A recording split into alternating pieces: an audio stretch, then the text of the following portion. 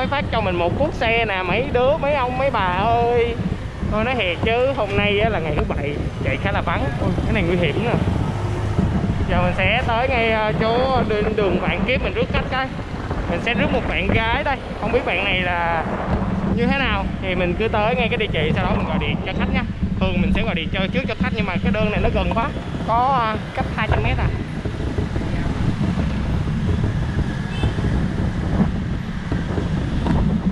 cũng gần nên à, mình sẽ chạy tới sau đó gọi điện cho khách. Đơn này đi được thì à, được à, uh, 9 ngàn 444 uh, 9 ngàn 9445 được 9 ngàn 445 đồng. Khúc đường này là bạn kiếp nè đường này là đa phần là bán đồ ăn đồ uống khá là nhiều. Nhiều ơi là nhiều luôn. Nói chung á ai mà ở đây á ta nói có khi á chết hẹm luôn á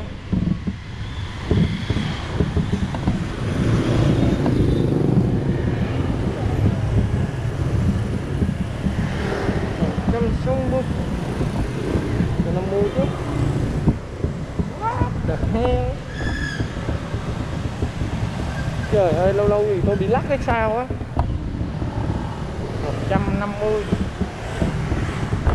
Ồ, tới rồi nè. Em nhìn nhầm số.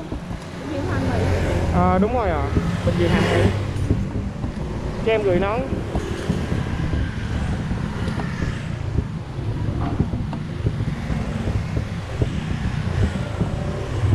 em cứ tưởng 160 không mà em quành lại. Ai về là 150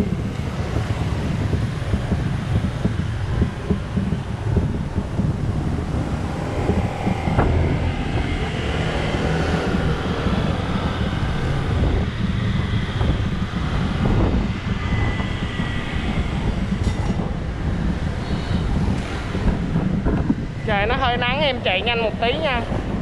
Dạ rồi.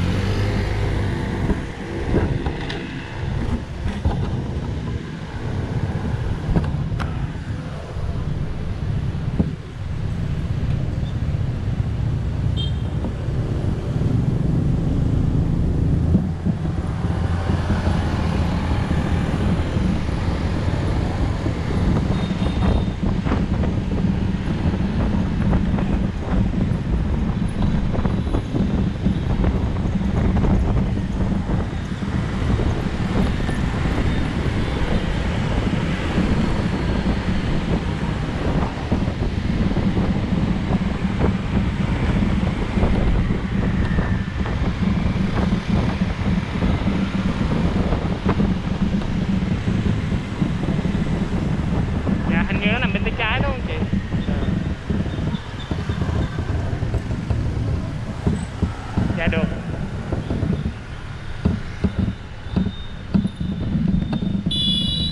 chạy vô hẻm này đúng không? Ra đường để phải đi thẳng à?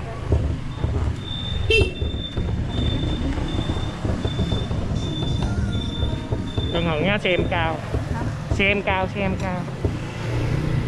Cảm ơn ạ. à. Xong rồi.